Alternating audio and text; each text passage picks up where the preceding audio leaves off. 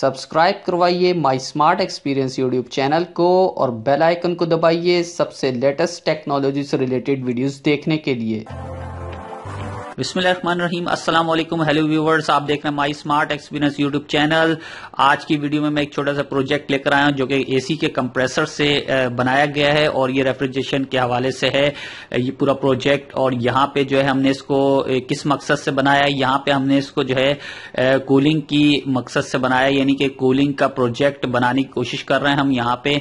और इसको हम डिफरेंट तरीके से भी, और भी डिफरेंट तरीके से यूज़ करेंगे। लेकिन यहाँ पे अभी जो है मैं चेक कराने जा रहा हूँ आपको कि हमने यहाँ पे देखें यहाँ पे एक फ्रिज का जो है कंप्रेसर यूज़ किया फुल साइज़ वाला, और यहाँ पे एक छोटा सा कॉपर का हमने कंडेंसर बना के लगा दिया है, और इसके पीछे एक फ़ैन लगा दी, क्योंकि फ़ैन लगाना ज़रूरी है। कोई भी आप फ़ैन लगा दे, अभी हमने टेस्टिंग के पर्पज से जो है यहाँ पे बारह वोल्ट का फ़ैन लगा दिया है। यहाँ पे इसके हम एम्पियर चेक करेंगे कि कितने एम्पियर ये लेता है, और ये जो है कितनी तेज़ी से जो है आइस मेक करता है। ये हमने जो है यहाँ पे लगाया, ये कंडेंसर लगाया हॉट कंडेंसर कहलाता है, यानी गर्म कंडेंसर होगा ये, और और यहाँ पे आप देख सकते हैं, ये जो है, ये कूलिंग कंडेंसर है एवोपरेटर भी आप इसको कह सकते हैं कूलिंग कंडेंसर भी बोल सकते और कूलिंग कॉइल भी बोल सकते तो यहाँ पे जस्ट मैं अभी ऑन करने जा रहा हूँ, यहाँ पे एक हमने, यहाँ आप देखें, ये देखें, एक कैपलरी ट्यूब यहाँ पे लगाई है। और कैपलर ट्यूब से फ्लेयर से हमने इसको जोड़ दिया है। प्रीवियस वीडियो में भी मैंने ज़िक्र किया था, लेकिन आज हम यहाँ पे आपको दिखाएँगे क्योंकि इसके अंदर गैस जो है हमने कंप्लीट डाल दी है। यहाँ पे स्टैंडिंग प्रेशर आप देख लें, इसका अभी ये चल नहीं रहा है कंप्रेसर यहाँ पे स्टैंडिंग प्रेशर साठ के लगभग है। और सबसे पहले मैं यहाँ पे फ़ैन स्टार्ट कर दूँगा। अब मैं यहाँ पे कंप्रेसर ऑन करने जा रहा हूँ। यहाँ पे जो है मैंने कंप्रेसर ऑन कर दिया है। देखें आहिस्ता आहिस्ता जो है इसका रनिंग प्रेशर उठ रहा है ज़ीरो से उठता चला जा रहा है। यहाँ पे आप देख सकते हैं कि गैस का प्रेशर जो है ज़ीरो से थोड़ा सा जो है ऊपर। यहाँ पे आप देख सकते हैं कि ये देखें कंडेंसर के ऊपर जो आइस आती जा रही है। इस वक्त आप देख सकते हैं कितनी तेज़ी से जो है आइस में कर रहा है। यहाँ पे आप देख सकते हैं कि इससे पूरी जमती जा रही है बर्फ़।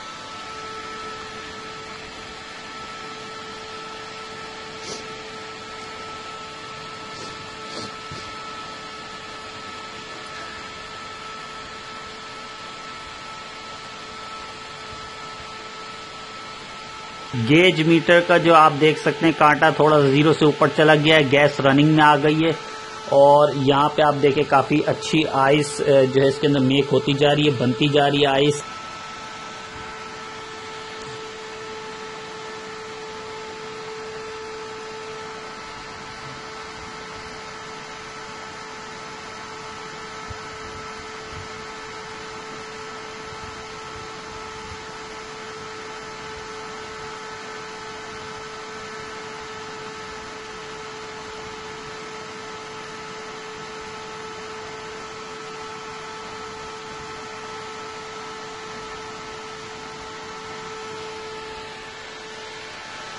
यहाँ पे हमने एक फ़ैन इसलिए लगाया, इस वक्त कंप्रेसर बिल्कुल जो है ठंडा पड़ा हुआ है और हीट भी नहीं है कंप्रेसर पे। कंडेंसर को ठंडा रखना ज़रूरी है, अगर कंडेंसर ठंडा रहेगा